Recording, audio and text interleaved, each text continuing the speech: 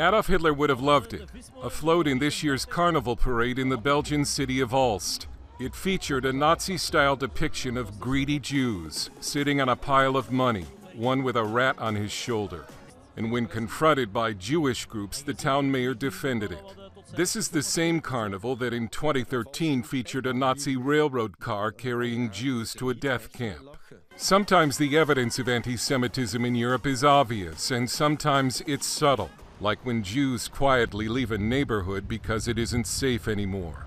I traveled through Brussels with Jewish leader Joel Rubinfeld to visit his boyhood synagogue, which had to be sold because the area became too dangerous for Jews. I felt insecure coming here with my family.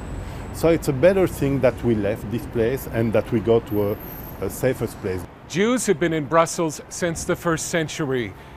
They're still here, but many are leaving because of anti Semitism and threats of violence. It's the not the aliyah, the big aliyah, but the internal aliyah.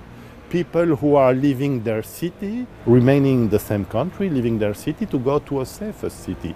Or people leaving their neighborhood because they feel threatened as a Jew there in this neighborhood and going to another neighborhood where they feel more secure. The Jewish Museum in Brussels, where an Islamic terrorist killed four people in 2014, shows the 2,000 year history of the Jews in Belgium.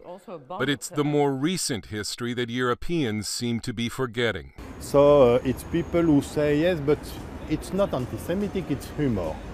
But you know, this kind of humor is killing Jews meaning Jews have the power, Jews have the money, Jews have the control. All these very uh, basic uh, uh, uh anti-Semitic cliches. In Germany last year, violent attacks against Jews almost doubled. In Britain, anti-Semitic incidents have risen for a third year in a row.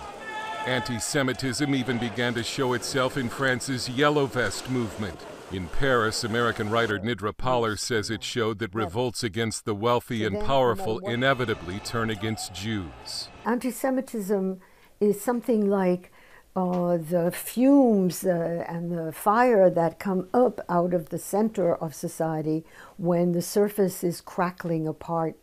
A new Hudson Institute poll shows most Americans now believe anti Semitism is growing in the United States. It's already infected the Democratic Party. And Rubinfeld has a warning to Christians. You're next. More problems will come, you know. It's just the beginning. We know this. We know that about anti-Semitism, that anti-Semite, they start with Jews, but they never finish with Jews. Dale Hurd CBN News, Brussels.